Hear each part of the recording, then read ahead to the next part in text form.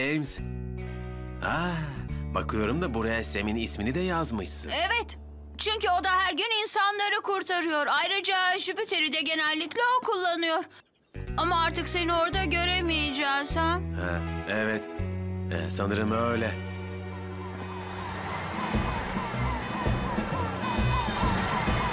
Sam, dur! Acil durum neymiş? Ormandaki birkaç ağaç alev almış. Daha da yayılmış olmasından endişe ediyoruz. Oo, durum ciddiye benziyor. Belki ben de sizinle gelip yardım etsem iyi olur. Peki ya televizyon programı ne olacak? Heh, heh, Ben her şeyden önce bir itfaiyeciyim, unuttun mu? Vay canına.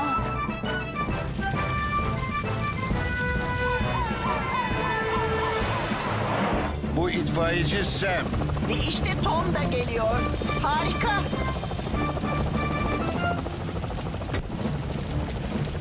Siz iyi misiniz? Ben kendimi yorgun hissediyorum. Belki bir sandviç iyi gelebilir. Oh, şimdi olmaz Norman.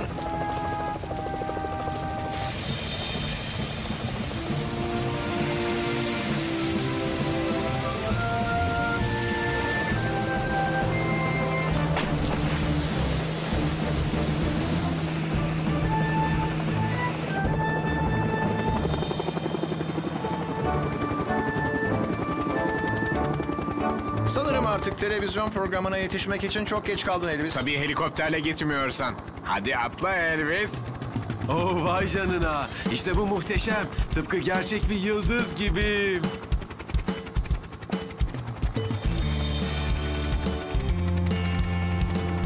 Elvis, bekle. Gitarını unutuyorsun. İyi şanslar.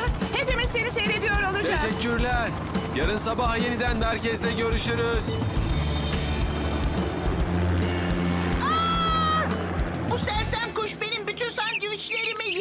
Ah, bu bir kırmızı başlı sallanan çalı bülbülü. Sakın kıpırdama Norman, sakın.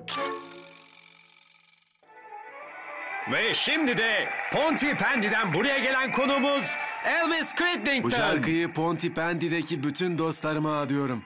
Özellikle de itfaiyeci Sam'le Penny'e ve elbette dünyanın en iyi arkadaşı itfaiye memuru Steele'e adıyorum. Bunu duydunuz mu millet? Elvis benim adımı söyledi. Her gün dilimde bir şarkı ama yardım işin başı.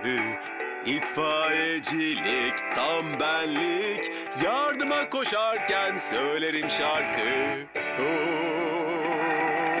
Oh, aferin sana Elvis.